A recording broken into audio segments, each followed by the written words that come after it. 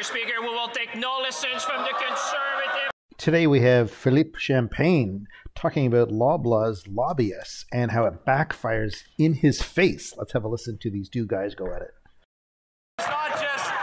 Crime that this government's policy is making worse. On April 1st, the Prime Minister is going to drive up grocery prices again with another hike to his carbon tax. And the impact on this affects Canadians every step of the way from farm to fork. Keith Warriner, professor at the University of Guelph, said 44% of growers are operating at a loss presently, and three quarters have difficulty offsetting production cost increases. Instead of driving grocery prices up even higher, why doesn't he cancel his plan to hike the carbon tax? The Honourable Minister for Innovation. Mr. Speaker, we will take no lessons from the conservative who have no plan, Mr. Speaker. I guess their plan is to ask Jenni, Mr. Speaker. But on this side of the House, Mr. Speaker, we have a plan to make grocery to stabilize price in this country, Mr. Speaker. It's called competition, Mr. Speaker. Home understand that. They are the only one who are blocking the further reform we want to put, Mr. Speaker, because Canadians understand that we want stabilized price, we want more choice, we want more competition. On this side, we'll fight for Canadians at every step of the way. The Honourable Member from Regina-Qu'Appelle. You would think that they would have thrown those talking points out after this week when we learned, Mr. Speaker, all the relationships between Liberal staff and Loblaws, like Brian Topp and Don Guy, both who collect checks from Loblaws, and last year they met twice with the PM's Director of Policy. Oh. Or like Taya Backett, the in-house lobbyist at Loblaws. She used to have an office in the PMO. You could run a superstore with all the staff over there that have relationships with Loblaws.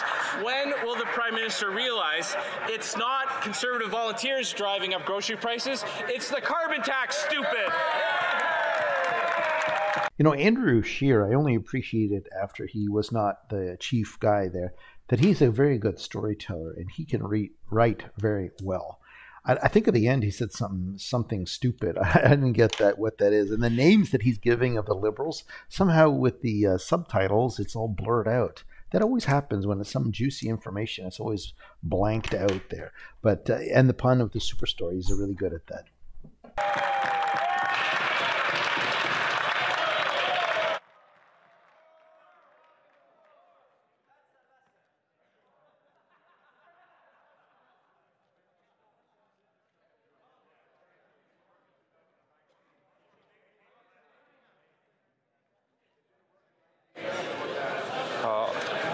Although that is uh, uh, a political expression known to, to many, uh, I do uh, warn all MPs uh, to please to try to uh, watch and to stay safely on the right side of parliamentary debate. the Honourable um, Minister of, of Innovation. Speaker, I will abide by your words, Mr. Speaker. And one thing that we're doing when he talks about superstore is right, and, and I'm happy to talk about that because that's actually what we're trying to bring, Mr. Speaker.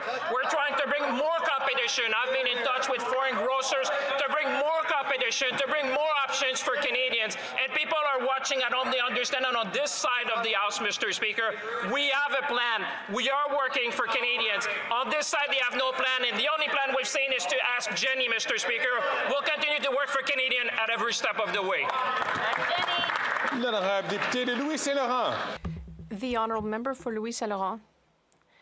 Thank you, Mr. Speaker. After eight years of this Liberal government, the housing crisis is hitting Canadians hard. For example, in Quebec, on uh, Philippe Champagne's comment, no grocer is going to grocer is going to come to Canada. They are scared beyond their belief. Of scared of the Liberal government. They're scared of the distances. They're scared of the carbon tax. They're scared of the gas to move stuff around. I mean, sure, we'll buy stuff from uh, Chinese uh, groceries and Mexican groceries and American one.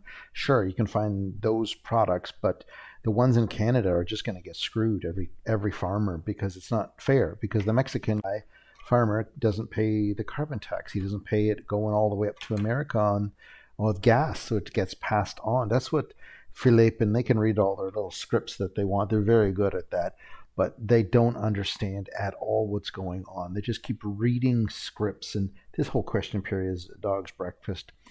I don't know. You got to look at the way the Americans do it or someone else, but you know maybe they need to step into the 21st century and do it differently because this is just a stupid back and forth of reading pieces of paper, in my opinion. Anyway, thanks for watching. Don't forget to like and subscribe. I'll see you in the next video.